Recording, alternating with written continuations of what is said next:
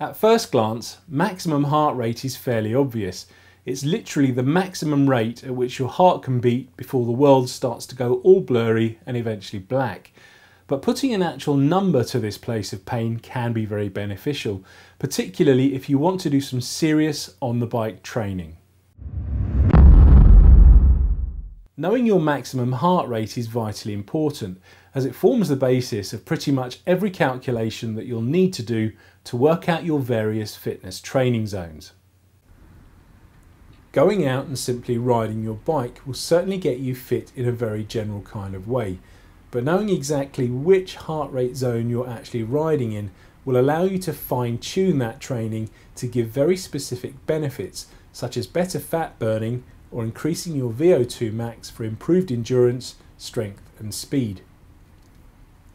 The absolute scientific method of calculating your max is to do a maximal test actually on the bike.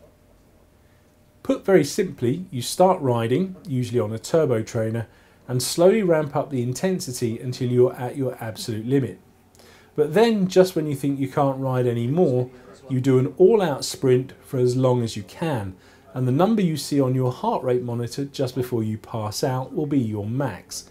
And no, I'm not joking, it really is that tough. A proper maximal test has the advantage of being very accurate, but as you can imagine, it's not for the faint-hearted, as it's absolutely brutal.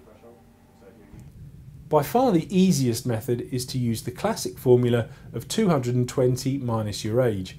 So for me, a 49 year old, this works out to 171 beats per minute. While this method is very quick and easy, it can unfortunately be rather inaccurate.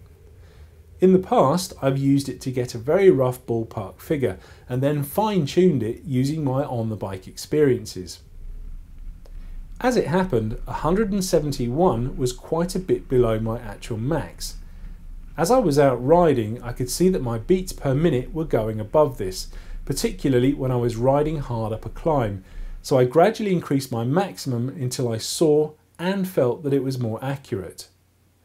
As a result, it's now 188 beats per minute, and I'm pretty confident this is correct because I cannot sustain this level of intensity for more than about 15 seconds without feeling like my heart is about to explode.